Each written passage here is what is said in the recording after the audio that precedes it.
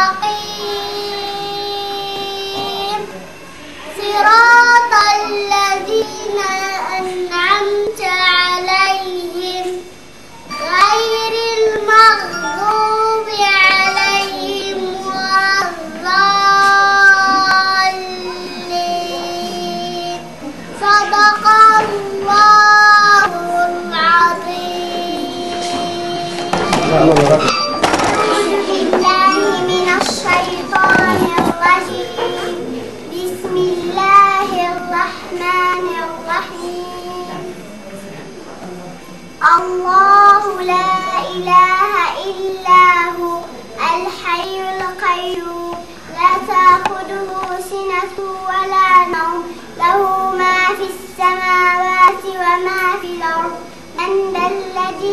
يشفع عنده إلا بإذنه. يعلم ما بين أيديهم وما خلفهم. لا يحيطون بشيء من علمه إلا بما شاء. وسع كرسيه السماوات والأرض ولا يؤوده حفظهما. هو العلي العظيم. صدق الله العظيم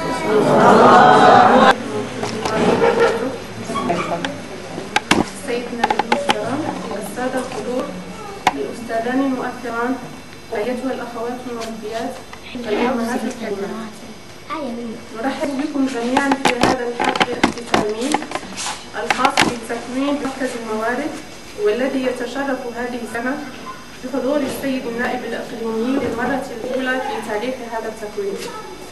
وإنها لالتفاتة كريمة من طرفكم سيد النائب. لا يسعنا إلا تكميلها ونهيب بسعادتكم ألا تكون الأخيرة وأن يظل اهتمامكم بهذا المجال ورجاله ونسائه موصولا ودائما لأهميته البالغة ولكونه اللبنة الأولى والأساسية في التعليم ككل وخلال هذه السنة تلقينا تكوين ضمن مصوغتين هما مصوغة اللغة العربية التي أشرف عليها الأستاذ حسن جابري ومصوغ المشروع التربوي تحت إشراف الأستاذ فؤاد السعودي حيث كان من أهداف التكوين في مصوغة اللغة العربية ولأن اللغة في قلب التعلمات أساليب تعلم اللغة بالنسبة للطفل بحيث تكون بديلا للأساليب التقليدية المعتادة مع الحرص على بساطة اللغة وسلامتها مع تصحيح النطق والحرص على سلامة مخارج الحروف والتشجيع على التعبير عن الأحاسيس والمشاعر المختلفة وتشخيص المواقف والمشاعر وفي هذا الإطار عملت المربيات على إنتاج وإبداع منتوجات متنوعة عبارة عن ألعاب قرائية ووسائل لعرض مسرحيات وصنع عرائس وأعمال يدوية مختلفة لتنمية المهارات اليدوية للإعداد للكتابة ومجموعة أخرى من الأعمال المهمة. وفي إطار التكوين بمصوغة المشروع ولأنها تتضمن أهم مبادئ المنهجية العامة الخاصة بمرحلة التعليم الأولي والتي من أهمها الانطلاق من الطفل بدءا ووسطا وآخرا مع التدرج والاستمرارية والترابط بين المواضيع والأنشطة وانطلاقا من قصة حديقة جدتي عانت المربيات وتحت إشراف الأستاذ المحترم على إنتاج برنامج متكامل. يتضمن جميع مجالات التعلم وفق مدونة للكفايات الخاصة بالتعليم الأولي تراعي خصوصية الطفل ما قبل تمدرس وتلبي حاجاته المختلفة خاصة حاجته للحركة والمناولة وبناء التعلمات انطلاقا من وضعيات تعلمية تراعي حاجاته المختلفة خاصة الحاجة للحركة والمناولة وبناء التعلمات انطلاقا من وضعيات تعلمية تراعي مجموعة من المتغيرات كالعمل من خلال الورشات والورشات التبادلية واستعمال السبورة الوبرية بدلا من السبورة العادية واستعمال الوسائل السمعية والبصرية واستغلال الأنشطة الاعتيادية والرياضية كمدخل لتقديم الأنشطة وهذا ما تم تأكيده. من خلال الأنشطة التطبيقية التي أقيمت بمجموعة من المؤسسات هذه السنة في إطار التكوين بمصوبة المشروع. وهنا نقف وقفة إجلال وإخبار لتقديم أنبل عبارات الشكر والامتنان والعرفان للأستاذين المحترمين السيد حسن الجبري والسيد فؤاد المسعودي اللذين بذلا كل الجهد والدعم من أجل الرفع من مداركنا ومهاراتنا المهنية كمربيات وتحسيسنا بالمسؤولية والأمانة المنوطة بنا والمتعلقة ببناء الطفل أساس المستقبل. كما نتقدم بجزيل الشكر لكل المربيات على الالتزام والمجهودات المبذولة طيلة السنة. مع أمنياتنا بالتوفيق والسداد لنا جميعا كمربيات وأطر كما نتمنى التوفيق والسداد للسيد النائب في مهامه الحالية. وشكرا.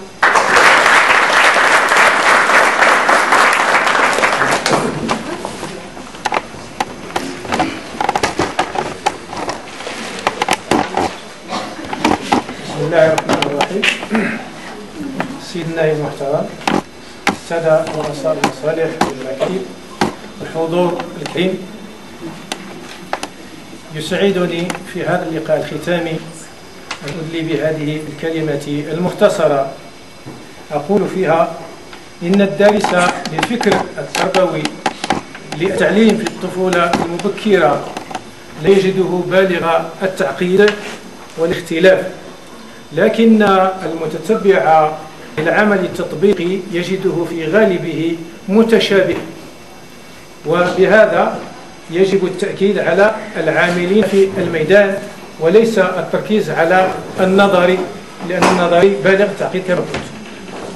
وبالتالي وجب الاعتناء بالمربين والمربيات لإعطائهم الثقة هذه الثقة التي هي لازمة كي يبحثوا في عملهم وينقبون فيه ويعدلونه باستمرار. هذا التوجه أدى بهذا المركز إلى اختيار هذه السنة مصوغة اللغة العربية والمشروع التربوي. هذا الاختيار لم يأتي عن عاطفة وإنما آه، اخترناه باعتبار اللغة واللعب ركيزتان ومكان هامان يساعدان الطفل على التمكن من معارف مختلفة بشكل يجعله كفءا ومن خلال هذين النشاطين آه، مشروع المشروع التربوي واللغة العربية كنا ندفع المربيات دفعا لإقناعهن بوجوب أن يمارس أن يمارس الطفل أولا اللعب لأنه في اللعب يكون سلوكه أعلى من معدل سلوك المرحلة العمرية التي وصل إليها. ثانيا ممارسة اللغة في جميع الأنشطة وما كان تركيزنا على أنشطة الاستماع والتعبير في مجال اللغة العربية إلا كنموذج يمكن لهن تطبيقه على باقي الأنشطة.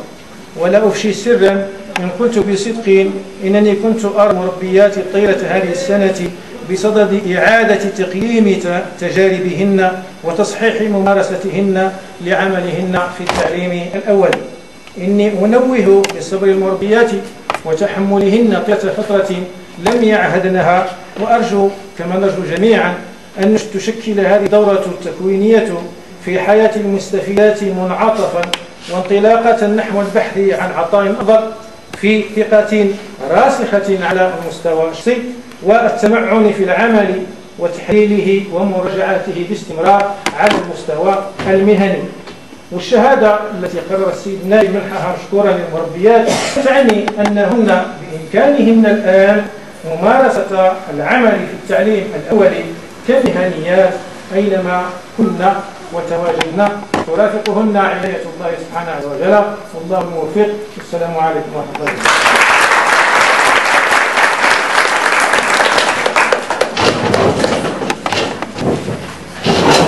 الرحمن الرحيم والصلاة والسلام على أشرف المرسلين.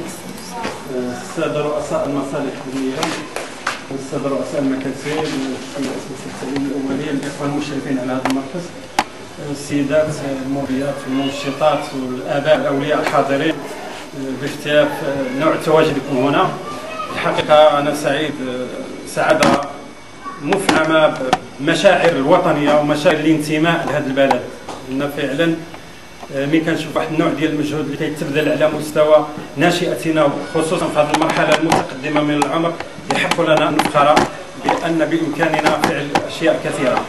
أه، أود في البداية أن أشكركم على استضافتكم وتوجيهكم الدعوة لي لحضور هذا اللقاء التكويني وأشكركم على الكلمات الطيبة التي وردت في المداخلات التي استمعنا إليها جميعا. الذي كنا نطمح له دائما هو أن لا تكون هذه الفضاءات المبثوثة والمنتشرة في مؤسساتنا التربوية فضاءات مغلقة أو فضاءات جامدة. كنا دائما نطمح أن تكون فضاءات مفعمة بالحياة. فيها دورات تكوينيه فيها أنشطة فيها ما يخدم مصلحة ناشئتنا وهذا تحقق من خلال هذه الدورة التكوينيه التي يحق لي من خلالها أن أشكر الأستاذين السي مسعودي والسي جابري على إنجازها وكذلك أهنئ المستفيدات من هذه الدورة. يعني الشيء الرائع كذلك الذي اثرني وأنا أتجول الإخوان الذين معي في هذا المعرض وأشكر كل العاملين والقائمين عليه المنشطات الجمعيات كل الذين ساهموا في إنجازه. وهو هذا الدرس الذي نستوعبه اليوم جميعا أن هذا الناشئه أو هذا الطفل المغربي يبدأ من هذا الإبداع الذي نبدعه نحن. يعني الآن حينما نشاهد تلميذ في واحد المراحل المتقدمة حتى اللعب اندثر من في المجتمع ديالنا ولات هناك ألعاب إلكترونية ألعاب كذا. الآن نحس بأن هناك لاعب من نوع خاص لاعب يفيد التعلم. وكاين واحد القاعدة واحد المثل معروف أن التلميذ الذي لا يلعب مريض. الحمد لله إحنا نريد أن يكون أبناؤنا كلهم أصحاء معافين لأن فعلا هذا هو المستقبل وهذا هو المغرب. قال من 20 سنة و30 سنة هو هذا اللي كان بنوه هذا المغرب العزيز العظيم جدا الذي سلم من جيل إلى جيل. نريده أن يكون مجهول المستقبل؟ ولكي يكون مضمون المستقبل هذه الناشئة يجب أن تتعلم قيمها وأن تتعلم قيمها الإنسانية والوطنية والدينية.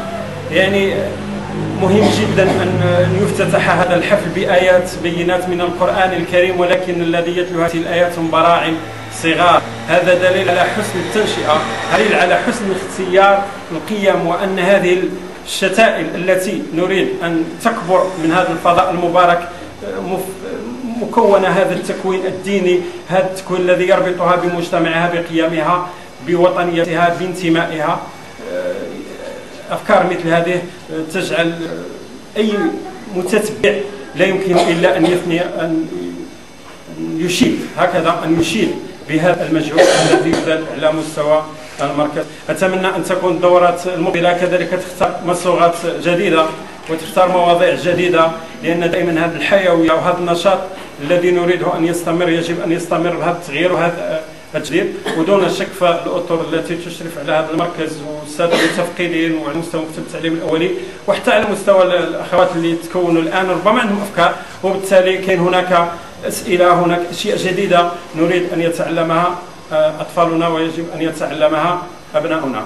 هنيئا لكم بهذا المجهود الذي بذل على مستوى هذه السنة ونتمنى أن يستمر آه، مستقبلا مرة أخرى. آه، أشكركم وأتمنى التوفيق لهذا المركز وأتمنى كما تختتم بهذا الحفل هكذا. نتمنى أن الموسم الدراسي إن شاء الله المقبل يكون كذلك نشيط مجموعة من الإنجازات مجموعة من الإبداعات. كما قلت في الأول الأطر ديالنا قادرة على الإبداع قادرة على العطاء قادرة على العطاء. اذا كل ما أعطيناها هذه الفرصة دون شك ستبدع. شكرا لكم.